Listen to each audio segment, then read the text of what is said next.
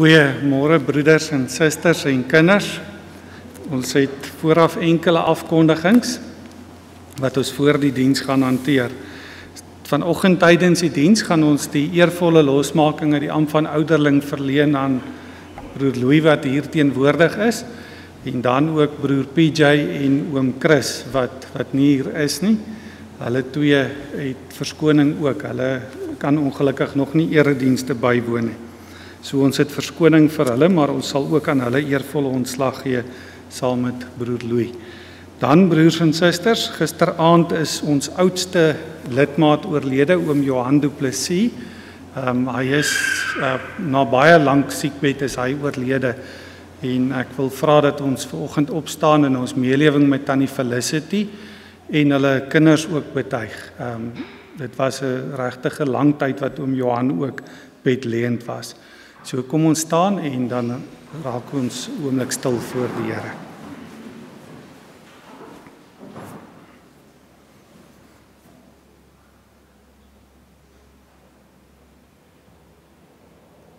Baie dankie.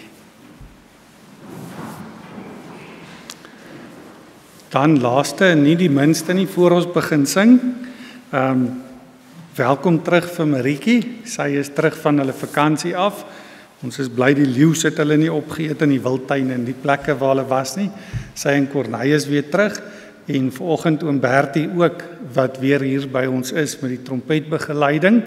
Ons kan bly wees die tannie wat daar langs hom sit.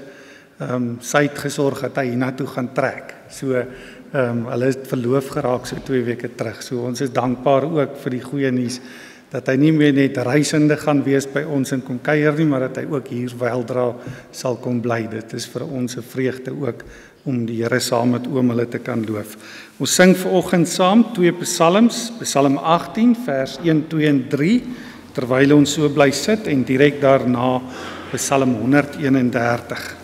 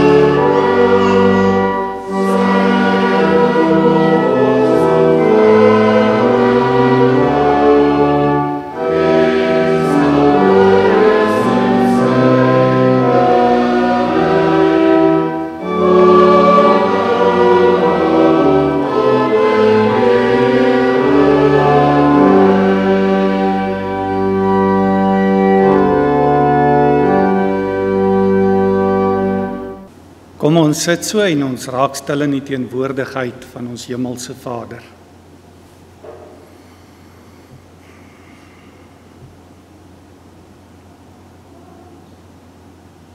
Ek kyk op na die berge, waarvandaan sal daar vir my hulp kom? My hulp is van die Here wat die hemel en die aarde geskaap het. Hy wat getrou bly tot in ewigheid. Amen. Geliefde gemeente, genade, barmhartigheid en vrede word u ryklik geskenk van God ons Vader in ons Here Jesus Christus deur die kragtige werking van die Heilige Gees. Amen. Kom ons staan en ons loof die Here deur saam te sing Psalm 84 vers 1, 2 en 3. Psalm 84 vers 1, 2 en 3 waarin ons ook saam kan sê wat dit vir ons beteken om vanoggend ook saam in 'n erediens te mag wees en in die teenwoordigheid van God ook te mag vergader.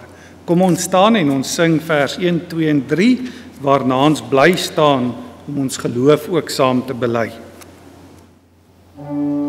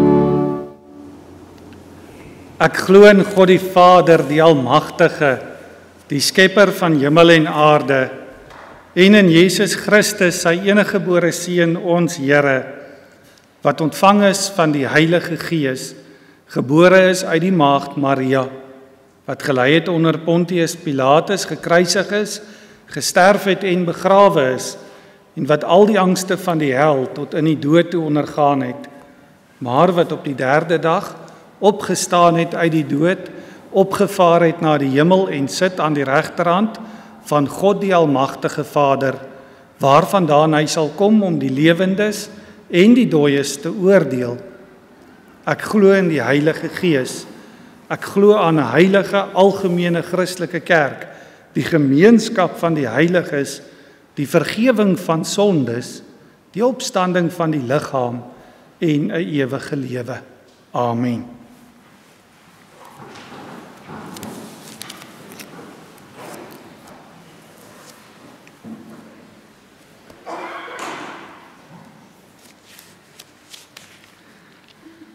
Ons hoërskoolkatkesasie kinders gaan in die volgende paar weke begin om die 10 gebooie te behandel. En belangrik is hulle begin vanaand dan ook met die tema van wat is goeie werke? En dan sien 'n mens in Sondag 33 wat ons oor 2 weke gaan gebruik, goeie werke is werke wat volgens die wet van die Here is. Dis wanneer jy iets doen nie omdat jy dink dis goed nie, maar omdat God vir ons sê dis goed. Wanneer jy nie iets doen omdat die wêreld dink dit is reg om dit te doen nie, maar omdat God vir ons dit in sy wet so ook voorgeskryf is in gehoorsaamheid aan God. Nou word die vraag gevra, hoe lei die wet van die Here? Dan weet ons God het al hierdie gebooie aangekondig in Eksodus 20 en Deuteronomium 5 toe hy gesê het ek is die Here jou God wat jou uit Egipte uit die plek van slawerny bevry het. Die eerste gebod dan jy mag geen ander gode voor my aangesig hê nie. Die tweede gebod jy mag vir jou geen gesneede beeld of enige gelykenis maak van wat bo in die hemel is of van wat onder op die aarde is of van wat in die waters onder die aarde is nie. Jy mag jou voor hulle nie neerbuig en hulle nie dien nie want ek die Here jou God is 'n jaloerse God wat die misdaad van die vaders besoek aan die kinders aan die derde en die vierde geslag van die wat my haat en ek bewys barmhartigheid aan duisende van die wat my liefhet en my gebooie onderhou. Die derde gebod: Jy mag die naam van die Here jou God nie ydelik gebruik nie, want die Here sal die een wat sy naam ydelik gebruik, nie ongestraf laat bly nie. Die vierde gebod: Gedenk die Sabbatdag dat jy dit heilig. 6 dae moet jy arbei en al jou werk doen, maar die sewende dag is die Sabbat van die Here jou God. Dan mag jy geen werk doen nie, nie jy of jou seun of jou dogter of jou dienskneg of jou diensmaag of jou vee of jou vreemdelinge wat in jou poorte is nie. Want in 6 dae het die Here die hemel en die aarde gemaak, die see en alles wat daarin is, en op die sewende dag het hy gerus. Daarom het die Here die Sabbatdag geseën en dit geheilig. Die 5de gebod: Eer jou vader en jou moeder dat jou dae verleng mag word in die land wat die Here jou God aan jou gee. Die 6ste gebod, jy mag nie doodslaan nie. Die 7de gebod, jy mag nie egbreek nie. Die 8ste gebod, jy mag nie steel nie. Die 9de gebod, jy mag geen valse getuienis teen jou naaste spreek nie. Die 10de gebod, jy mag nie jou naaste se huis begeer nie. Jy mag nie jou naaste se vrou begeer nie of sy dienskneg of sy diensmaag of sy os of sy esel of iets wat van jou naaste is nie.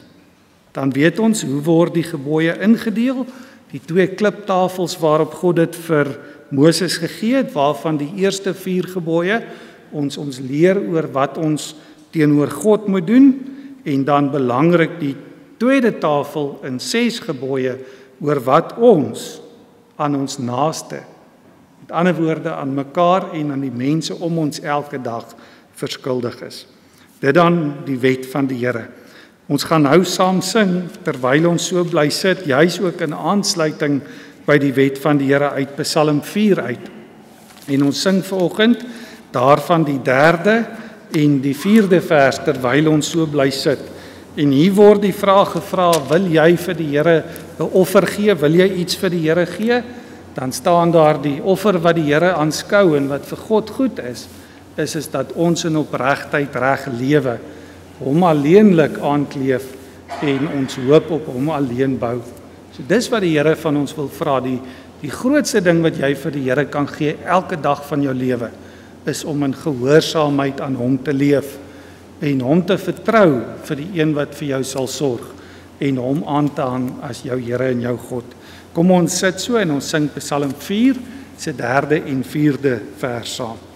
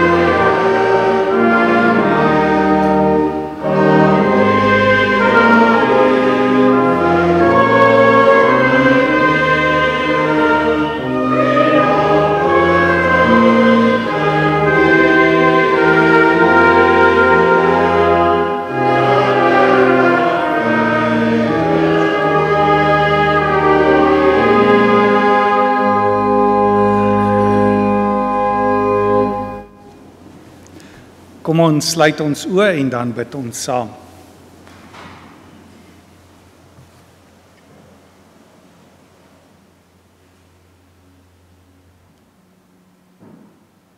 O driemaal heilige, heilige, heilige, almagtige, ewige God en Vader.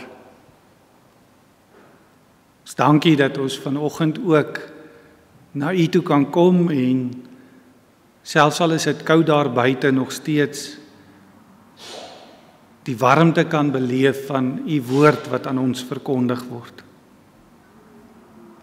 En daarom is ons gebed vanoggend dat U ook deur die Heilige Gees so in elkeen van ons harte sal werk dat wanneer ons na U woord luister vanoggend wanneer ons daaruit sing dat elkeen van ons ook daardie warm gevoel kan beleef.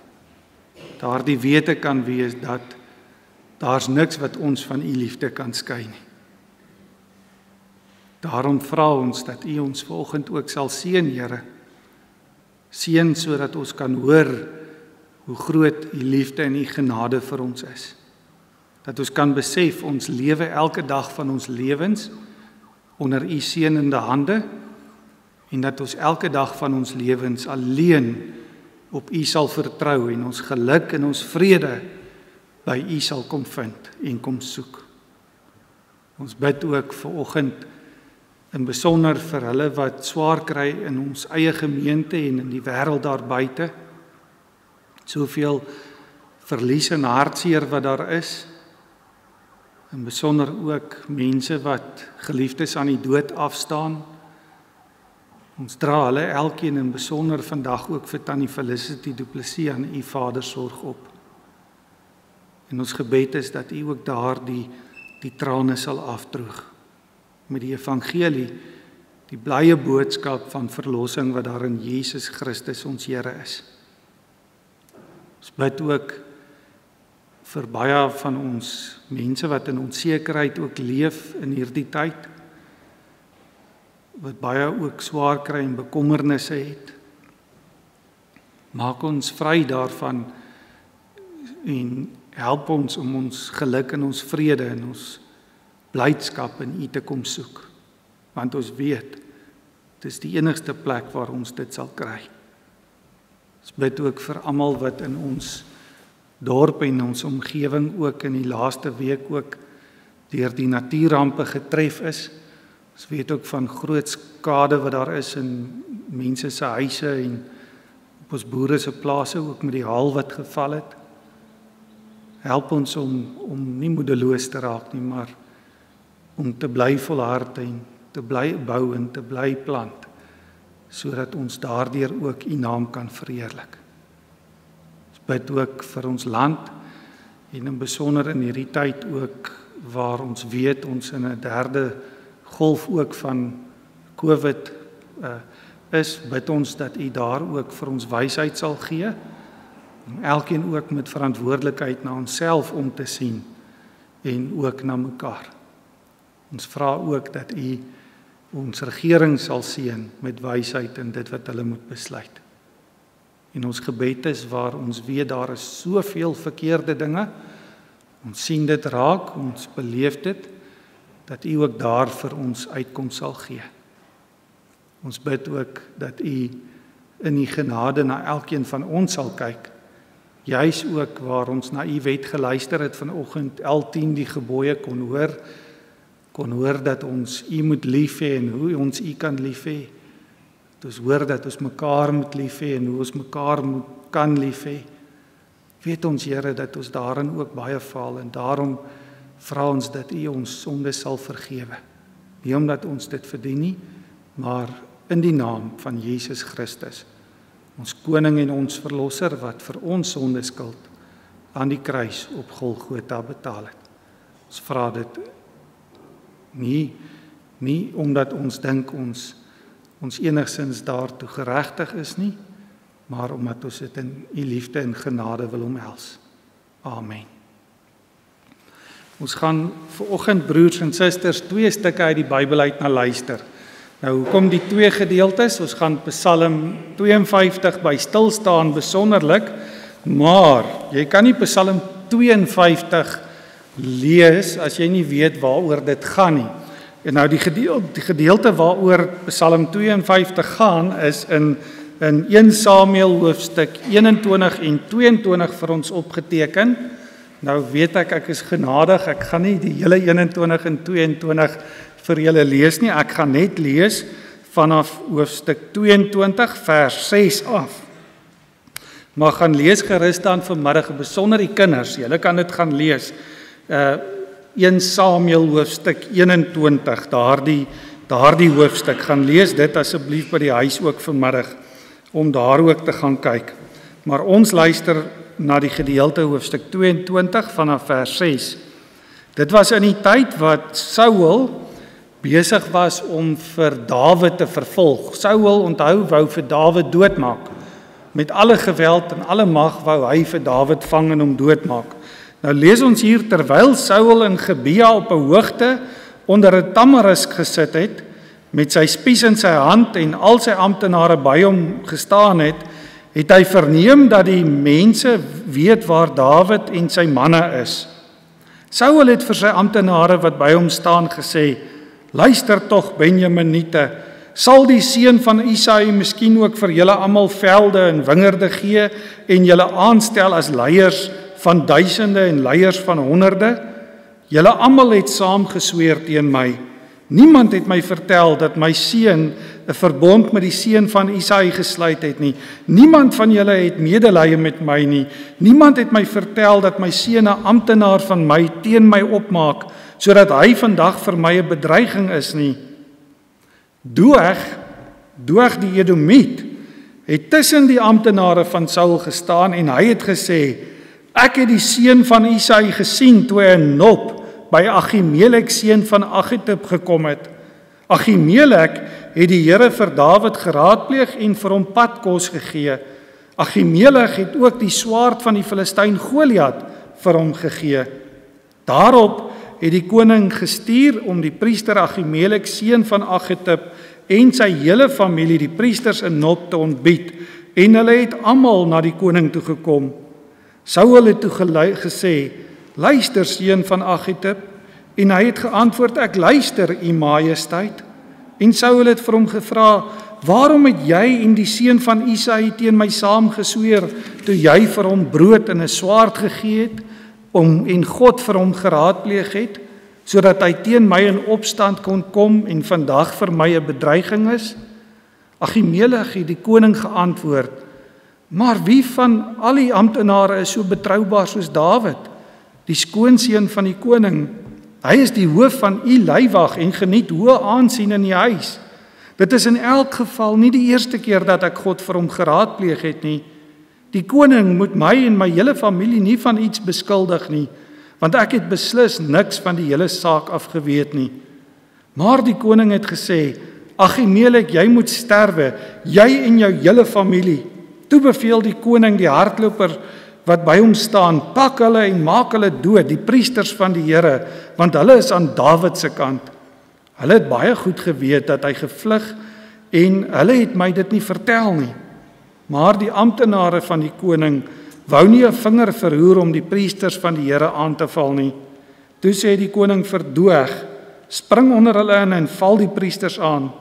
Doeg die Edomiet het onder hulle ingespring, die priesters aangeval en daardie dag 85 man wat die linne skouerkleed dra doodgemaak. Nop, die dorp van die priesters is met die swaard uitgewis, man en vrou, kind en suigeling, bees en donkie en kleinvee. Maar een seun van Agimelek, seun van Agitub het hom kom. Sy naam was Abadjar en hy het agter Dawid aangevlug. Abadjar het aan Dawid vertel dat Saul die priesters van die Here doodgemaak het. Dawid het vir Abadjar gesê: "Ek het daardie dag toe Doeg die Edomiet daar was geweet dat hy beslis alles vir Saul sou vertel. Ek het die lewe van jou vir hele familie in gevaar gestel. Bly by my en moenie bang wees nie, want wat my hy wat my lewe soek, soek ook jou lewe. Maar jy is veilig." Hoe kan Dawid vir Abadjar sê jy is veilig by my en en dis juis hoekom ons Psalm 52 vanoggend ook na moet luister. Want dit is die Psalm waarin Dawid vir ons verduidelik hoekom hy vir Abadjar kan sê dat hy veilig is by hom. Nou daar staan in Psalm 52 vers 1 vir die koorleier 'n gedig van Dawid na aanleiding daarvan dat die Edomiet Doeg gekom en aan Saul vertel het Dawid was in die huis van Ahimelek. Jy wat jou groot hou, jy spog verniet oor jou slegte dade. Onthou, God sorg altyd vir my. Jy wil ander se ondergang bewerk met jou vlamskerp tong. Pleeg jy bedrog Jy het die kwaad liewer as die goeie en die leuen liewer as die waarheid. Jy saai graag verwarring met jou leuns. Maar God sal jou vir altyd vernietig. Hy sal jou uitdruk en wegsleep uit jou woonplek uit. Hy sal jou wegruk uit die land van die lewendes. As die regverdiges dit sien, sal hulle met ontzag vervul word en smalend van jou sê: Dit is nou die man wat nie op God se krag wou steun nie, maar op sy eie rykdom vertrou het en hom sterk wou maak deur inhaligheid. Maar ek staan sterk soos 'n welige olyfboom. Ek is in die huis van God en ek steun altyd daarop dat hy vir my sorg. Ek sal U altyd loof vir wat U gedoen het. Voor U dienaars sal ek U naam prys want U is goed. Ons gaan ver oggend dan juis ook sing van hierdie gedeeltes ook in aansluiting daarby Psalm 2 vers 1, 2 en 3 waarin ons vertel word van iets wat belangrik is ook in die preek van mense wat in opstand kom teen die Here en teen dit wat reg is en mense wat lewe soos die Here wil hê hulle moet lewe. Nou kyk mooi wat gebeur, wat word hier gesê? oor mense wat op hulle self en op hulle eie krag en op hulle eie sterkte wil staatmaak. Juis in aansluiting by dit wat Dawid hier in Psalm 52 vir ons geskryf het toe hy gesê het uh daardie gedeelte as die regverdig is dit dan maar God sal jou vir altyd vernietig. Hy sal jou uitdruk en wegsleep uit jou woonplek. Hy sal jou wegruk uit die land van die lewendes. As die regverdiges dit sien, sal hulle met ontzag vervul word en smalend van jou sê: Dis nou die man wat nie op God se krag wou steun nie, maar op sy eie rykdom vertrou het en hom sterk wou maak deur inhaligheid. Kom ons staan en ons sing Psalm 2 vers 1, 2 en 3 saam.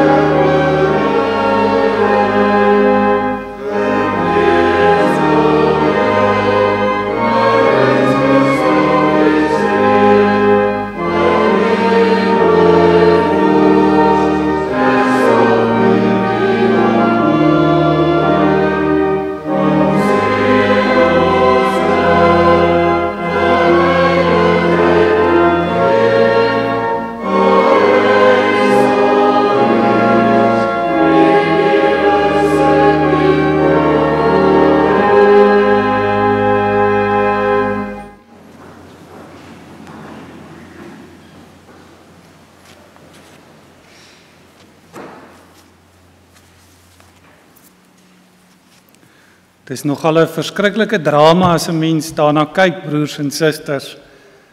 Ek weet 'n dominee het eendag vir, vir vir my gesê hy hy kry dit amper nie gelees vir sy kleinkind nie. Hierdie moord en doodslag waarvan mens lees in gedeeltes soos hierdie.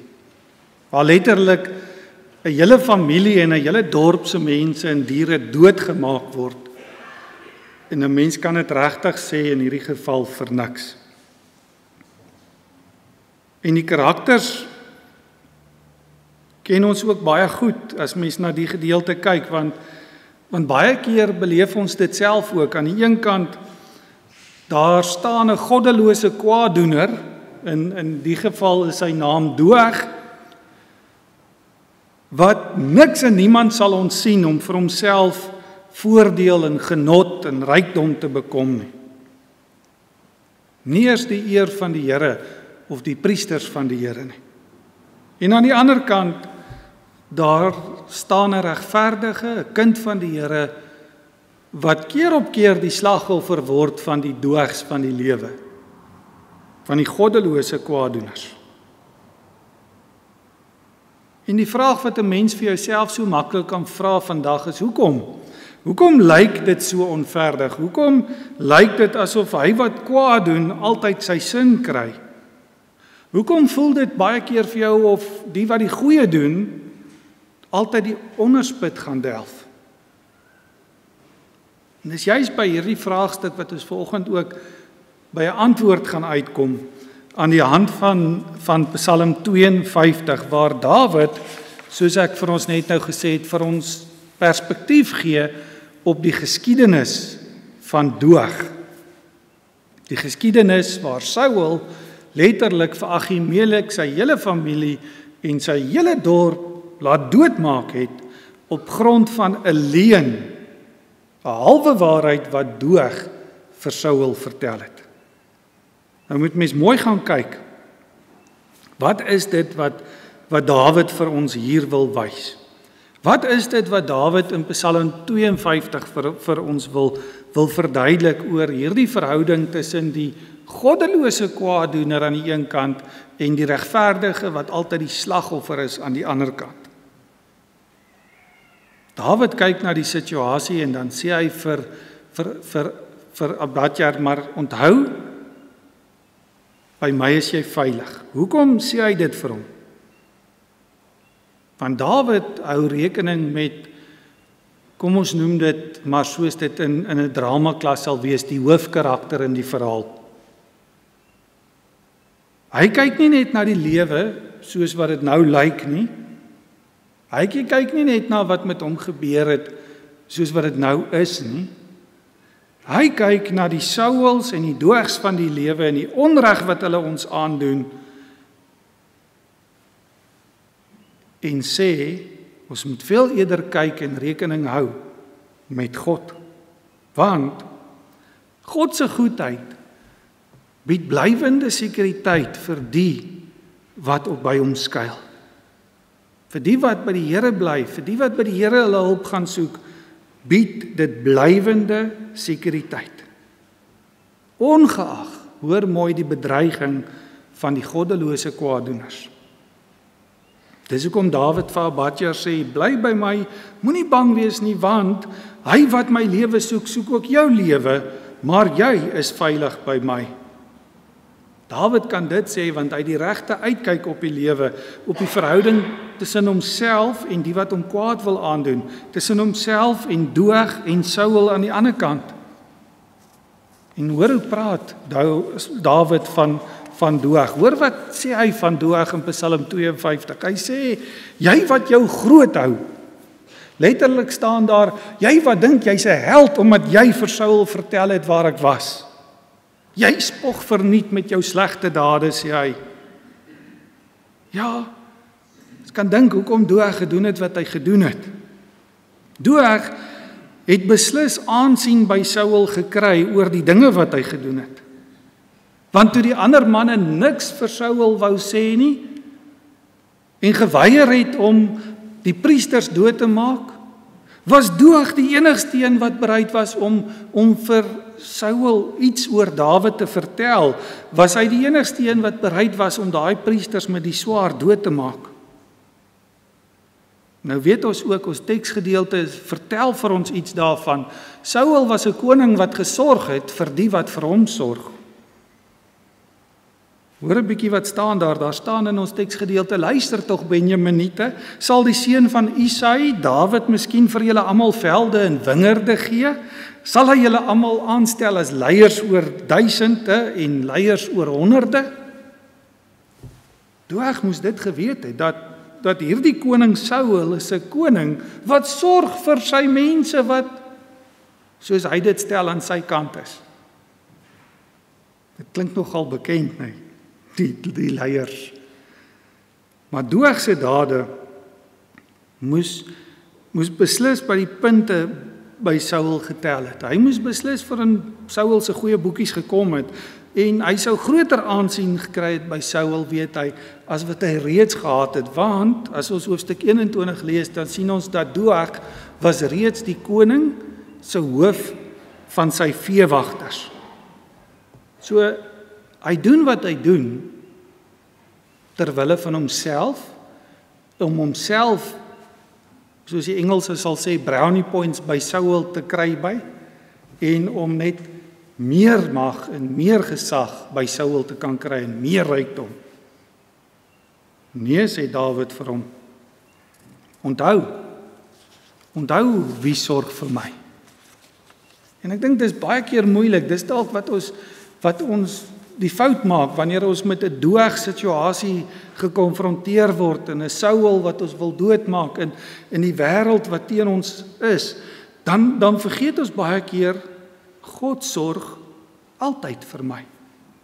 Selfs in hierdie op die oog af slegte situasie waarin ek my bevind, selfs op hierdie oog af lewensbedreigende situasie waarin ek my bevind. En dis hoekom Dawid in Psalm 52 na dit wat gebeur het kyk en hy doen dit waarskynlik om homself ook en vir Abatjar daarvan te verseker dat die Here altyd vir hom sorg. En sy blik wegvat van dit wat op die aarde gebeur het en na die hemel toe kyk, na God toe kyk. En dis juis in hierdie Psalm se tweede helfte wat Dawid vir ons presies wys wat dit beteken as hy sê God sorg altyd vir my. God gee vir my sekuriteit in die lewe. Sodat hy vir Abatjar kan sê bly by my, jy's veilig by my. Want Dawid kyk na dit wat gebeur vanuit die perspektief van en en dit gaan nou na verskriklike woord klink God se oordeel. Hy kyk daarna vanuit God se oordeel. En hier kom die verskil tussen die Doogs en die Dawids van die lewe na vore. Vir Doog is dit iets wat hy doen vir groter rykdom, vir groter aansien in Saul se oë, vir inhaligheid. Want hy dink dis wat hom gelukkig in die lewe gaan maak. Dis wat hom belangrik in die lewe gaan maak. Maar wat sê Dawid, jy wat nie op God wou steun nie? Maar deur bedrog en leuns en kwaadwilligheid vir jouself 'n naam wou maak ten koste van ander. God sal jou vir altyd vernietig.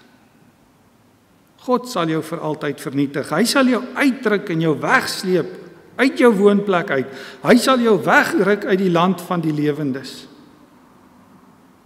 En hier gebruik Dawid vir ons 'n beeld wat ek dink ons almal goed ken van uitruk en wegsleep en wegruk. Dis die beeld van iemand wat 'n boom of 'n plant vat en hom uitpluk en hom wegsleep. Die goddelose sal letterlik soos 'n boom uit die grond uitgetrek word, wortel en tak uitgeroei word. En ons almal weet wat gebeur met so 'n boom. Hy staan geen kans nie. As God se oordeel oor hom gegaan het, gaan sy plek vir altyd leeg word. En dit wat hy vir homself wou opbou, gaan niks beteken nie. gaan geen verskil in sy lewe maak nie. Maar in teenstelling hiermee Sê Dawid is daar altyd die gelowige wat op God se sorg bly hoop. Wat op God se sorg vertrou. En en en hoor hoe mooi gaan Dawid dit dan vir ons verduidelik. Hy sê: "Maar ek staan sterk soos 'n welige olyfboom." Nou dis ook 'n boom, maar dis 'n boom wat sterk gewortel is, 'n boom wat jy nie gaan vat en gaan uitdruk nie. Dis 'n boom wat diep en vasgeanker is, 'n boom wat alles het wat hy nodig het om te kan groei en te kan vrugte dra.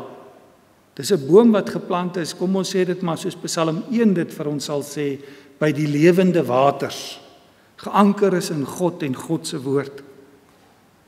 Geanker is in God se genade en in dit wat God vir hom gee en wat God vir hom leer. Ons almal ken ook die mooi beeld wat Jesus gebruik het van ons moet in hom bly. Ek is die wingerdstok, julle is die lote. Wie in my bly en ek in hom dra vrugte, want sonder my kan jy niks doen nie. Dan dis dis juist die punt wat Dawid besef is, maar ek is geanker in die Here.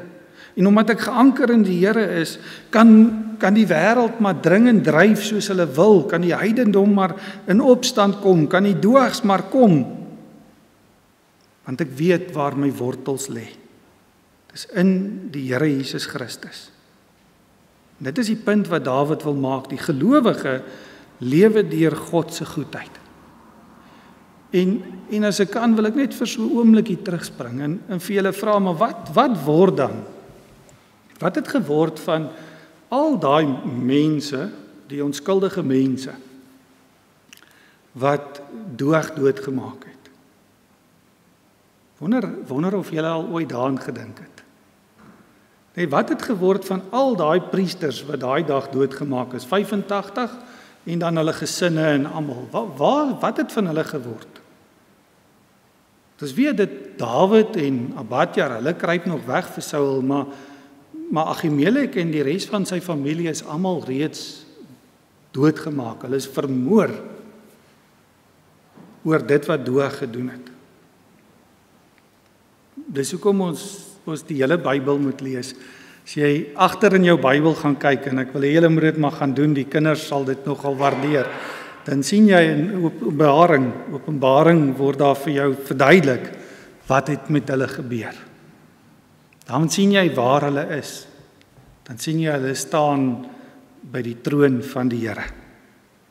Maar dis dis God se sorg en dis die vergelyking van sy lewe met 'n welige olyfboom wat Dawid dan hier vir ons wil beklemtoon dat sy lewe ten spyte van die feit dat hy vlugtende is vir Saul en dat hy hierdie verskriklike goed sien gebeur en hierdie verskriklike goed met Abadjar en sy familie gebeur het dat Dawid kan bly sê maar ek is soos 'n olyfboom. Ek is 'n belangrike rolspeler. Hoekom? Want my wortels is by God. En ons weet 'n olyfboom in daai tyd was een van die belangrikste bome want hulle het kos van die boom af gekry, hulle het kookolie gekry, hulle het lampolie gekry, hulle het medisyne van die boom af gekry, hulle het hulle het dit vir godsdienstige doeleindes vir salwings gebruik vir 'n klomp goeders het hulle olyfolie gebruik. Maar so in oorvloed sê Dawid vir ons is is 'n mens wat in God se sorg lewe. So 'n lewe lei iemand wat in God se sorg lewe. Baie belangriker as enige een wat soos doeg vir hom grootheid en rykdom in die oë van mense probeer vind het. Jy sien Dawid se grootheid is nie sy grootheid nie, dis God se grootheid. Hy is maar net klein Dawid in die hand van die almagtige God en dis waarop hy beroem. Dis hoekom hy in Psalm 52 sê ek sal u altyd loof vir wat u gedoen het.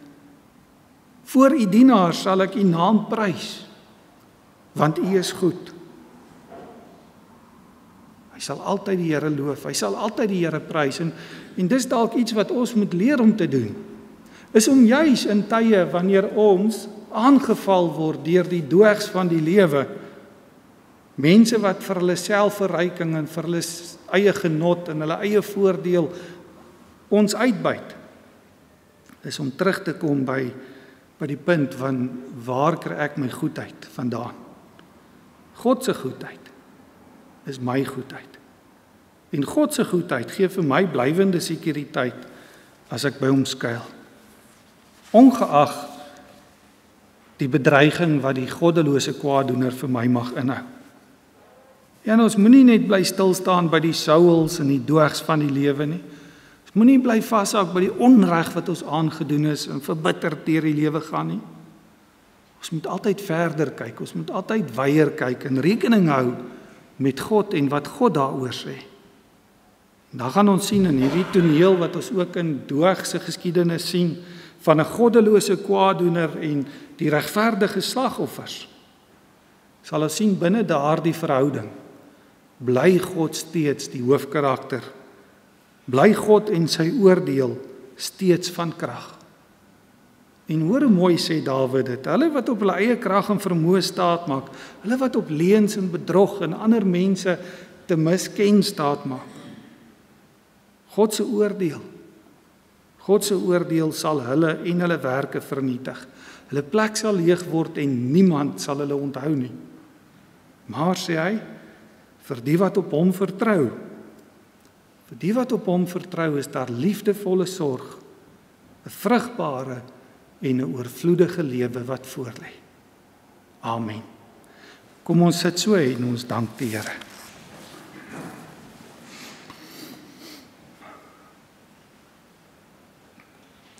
Ons Vader in die hemel, almagtige God.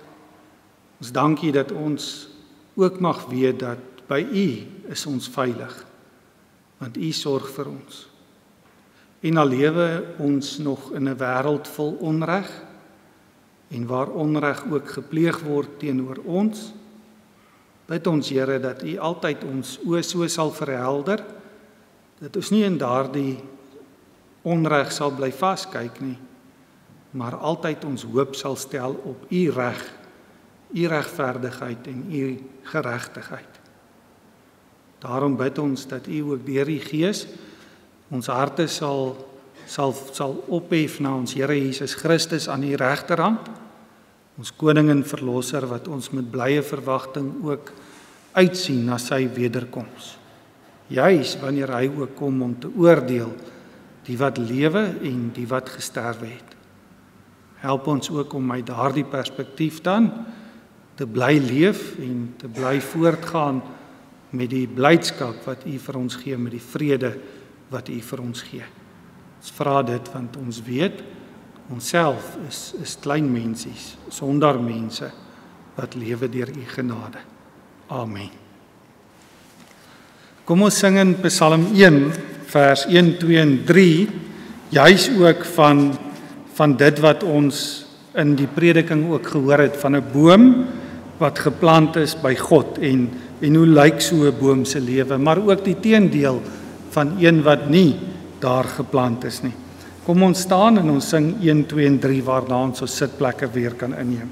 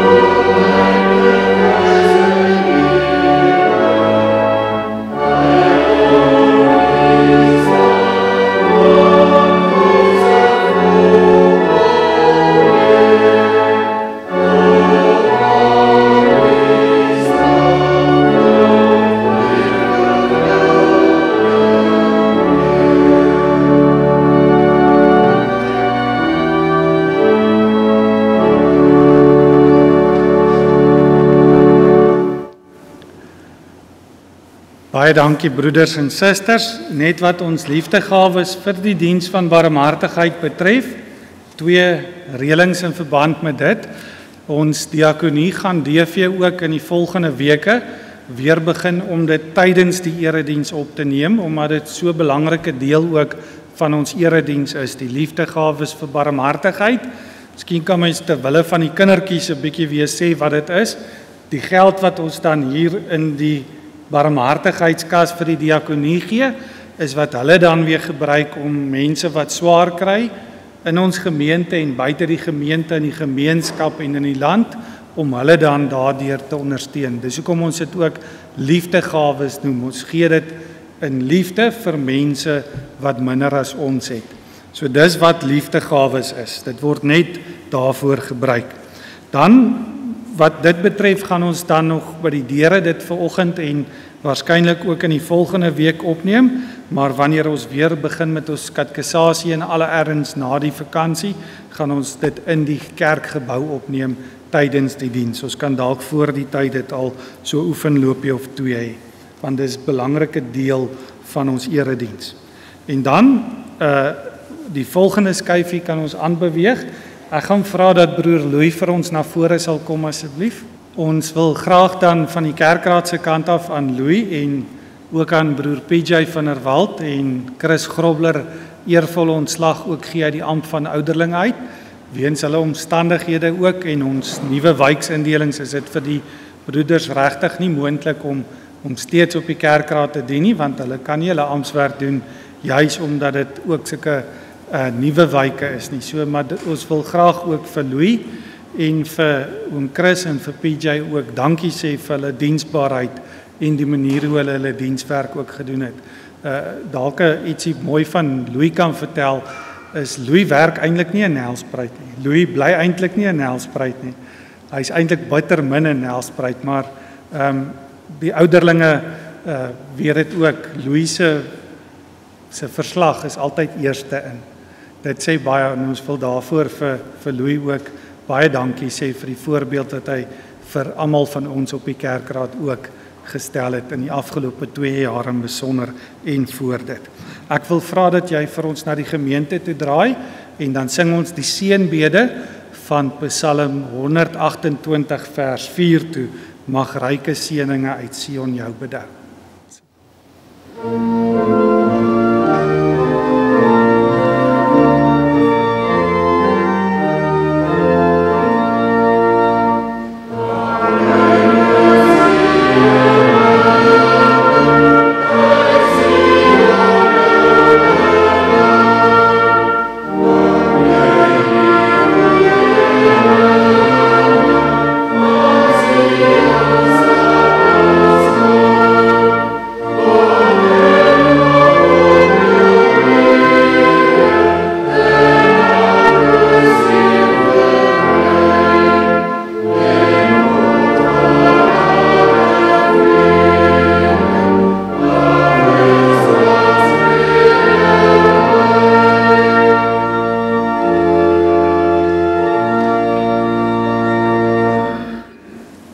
Ons sitplekke inneem.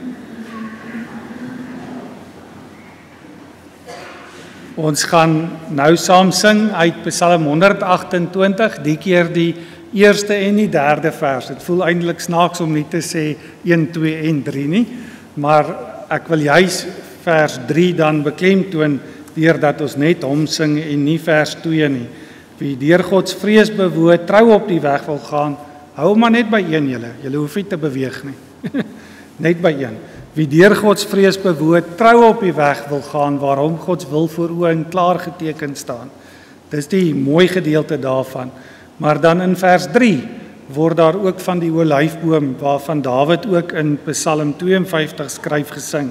En en dis juis ook vir ons kinders, nê, nee, kinders wat groot gemaak word in die vrees van die Here is olyfboompies sê die Psalm 128 vir ons en elkeen van ons wat wat groot gemaak word in die kerk van die Here is dan 'n olyfboom wat regtig ook soos Dawid hier stel wat sterk staan en welig groei soos daardie olyfboom waarvan ons ook hier sing.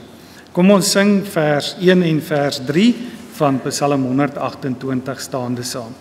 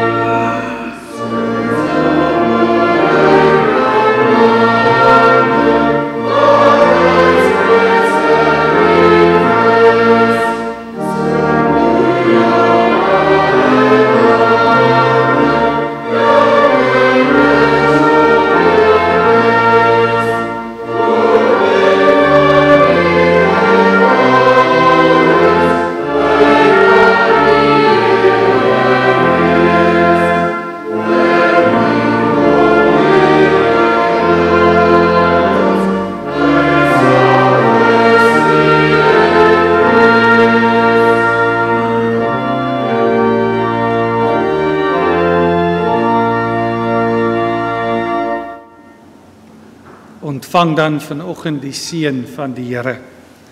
Die Here sal julle seën en julle beskerm. Die Here sal tot julle redding verskyn en julle genadig wees. Die Here sal julle gebede verhoor en aan julle vrede gee. Amen.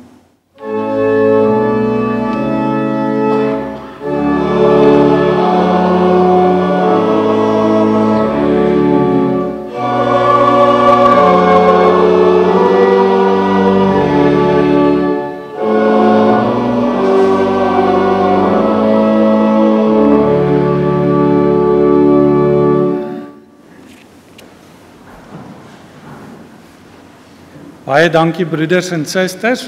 Ons wil vir almal wat die week verjaar, daar's nie iemand wat vandag verjaar nie, Susan verjaar eers môre, wil ons die seën van die Here toebid op 'n nuwe lewensjaar en dan wil ons ook uh dan vra dat ons ook in die vergeet my nie wat versprei is en versprei word ook dan al die ander beriggies sal gaan lees in besonder dit wat van die kerkraad se tafel af ook kom dat ons daarvan ook kennis sal neem. Baie dankie.